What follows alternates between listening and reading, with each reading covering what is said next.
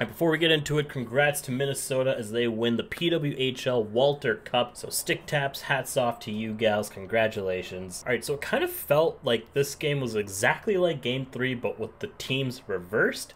Edmonton with a huge 5-2 win over Dallas. They now tie the series and we're headed back to Dallas where hopefully Edmonton can win that swing game as they are just two wins away from closing out this series.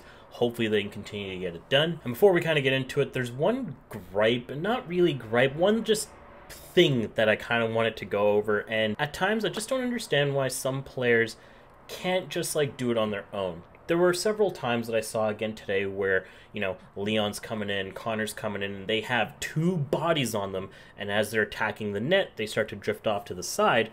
But another player with the puck, whether it's McLeod, whether it's Nuge, whoever, they try to still force a pass through the low slot right to Leon or Connor, but they already have two people on him, so they're not going to be able to finish.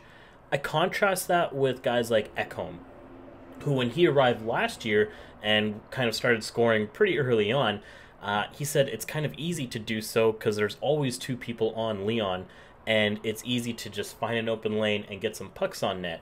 So I just wish that we could see some of these players own it a little bit more. That when Connor and Leon, you know, go and do their thing and have two players glued to them, that frees up so much room and space that maybe instead of throwing everything at them, you know, take the risk, take the chance, do it on your own. We did see that. Like, don't get me wrong. That was just one thing where I wish that we just saw less of that. But anyways, Dallas got up to that 2 nothing lead. That first goal was a goal where I'm like, ah, oh, man, that's one that really shouldn't have gone through, but is what it is.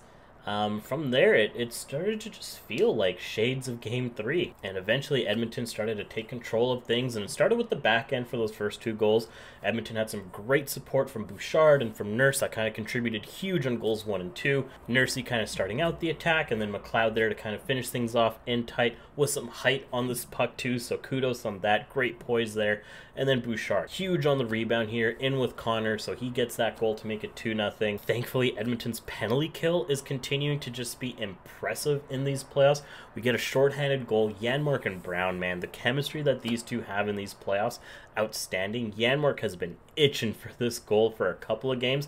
I'm so happy he got rewarded. Both of his goals in the playoffs have been off of an assist from Connor Brown. Brown, who now also has points in three straight games. And then just seconds after that, right after the kill, nifty little give and go between Hyman and Leon. Leon who buries it, and that starts with Connor McDavid at neutral ice just a little bit of a, of a collapse from Dallas, and Connor's able to capitalize, get that puck, get it out ahead to Hyman and to Leon, and boom, just like that, Edmonton doubles up on Dallas 4 to 2 before Ekholm late in this one, kind of like game three, throwing one on net from his own end to just get the insurance goal and make it 5 to 2. Oh, and then also Stewie uh, early in the first period and then kind of later in the second period, or maybe it was early in the third.